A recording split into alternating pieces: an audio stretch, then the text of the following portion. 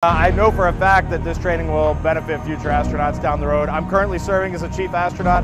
My hope is over the next few years that we get at least a dozen of our astronauts through here because this will be the critical training as we start to build the foundations of landing on the moon. One of the things we're taking away is how to use those vertical uh, flight cues especially in a degraded visual environment, to help out our crewmates who are on the controls or to be on the controls ourselves.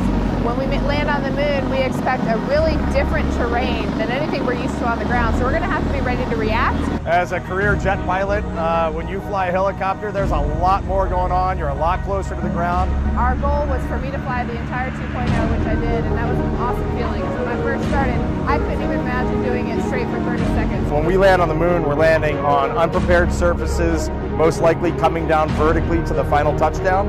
So if you want to learn that sort of flying, where do you go? You go to Fort Rucker, Alabama, and you train with the best. You train with the Army aviators here.